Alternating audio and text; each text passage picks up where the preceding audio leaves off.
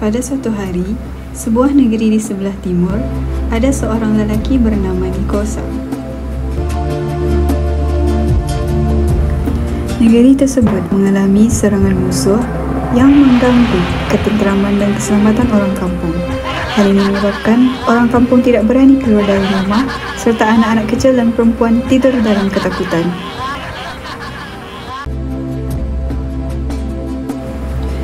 Ayahanda memanggil Nikosa untuk berhadapan dengan orang kampung. Lalu, memerintahkan Nikosa untuk mengalahkan musuh dengan mengumpul orang-orang bujang yang kuat.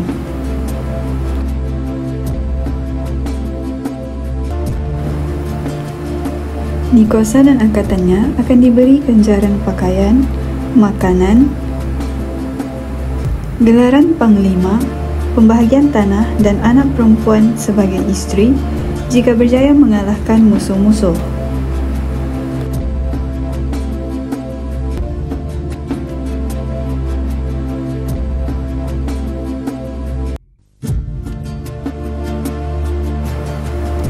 Selepas 18 hari merantau, Nikosa dan angkatannya berjaya mengalahkan musuh dan menawan empat buah negeri.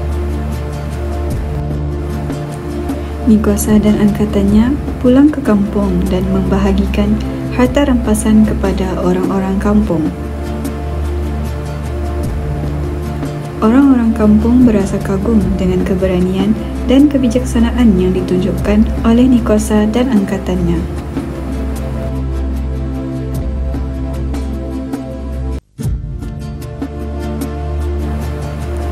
Nikosa meneruskan pengembaraan keduanya ke negeri lain untuk menawan negeri jauh yang lain bahasa dan adatnya selama tiga bulan. Hasil pertempuran tersebut, Nikosa dan angkatannya berjaya sekali lagi untuk menawan negeri musuh. Maka berakhirlah pengembaraan Nikosa dan angkatannya untuk melawan musuh yang mengganggu ketenteraman negeri ayahandanya. Sepuluh tahun kemudian, Nikosa digelar sebagai panglima besar kerana kesyedikannya. Nikosa memberitahu ayahanda, orang tua-tua dan orang besar-besar di dalam negeri untuk tidak khawatir dalam menjalankan aktiviti seharian kerana tiada lagi ancaman musuh dari luar.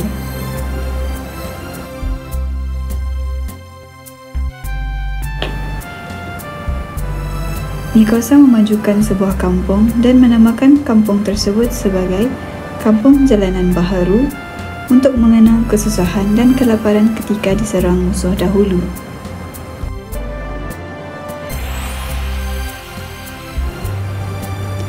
Nikosa akhirnya berkahwin dengan anak menteri yang bernama Janila dan mempunyai tiga orang anak iaitu dua anak lelaki dan seorang anak perempuan.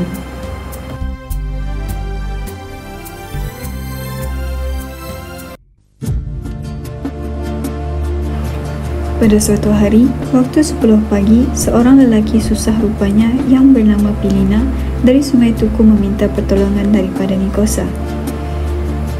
Pilina meluahkan masalahnya kepada Nikosa tentang masalah kewangan yang dihadapinya.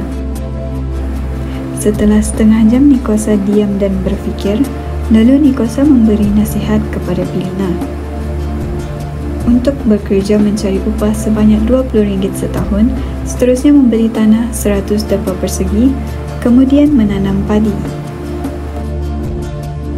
Akhir sekali, Nikosa meminta Pilina menanam 12 batang pokok mulung di tepi ledang dan jauhnya 4-4 depak antaranya.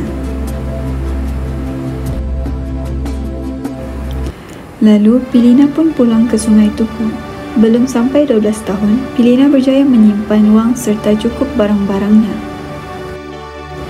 Orang lain mengikut perbuatan dan cara Pilina kerana yakin dapat mengubah kehidupan mereka. Maka inilah halnya daripada sebab mengikut adat dan peraturan yang betul di dalam dunia ini melainkan selamat selama-lamanya.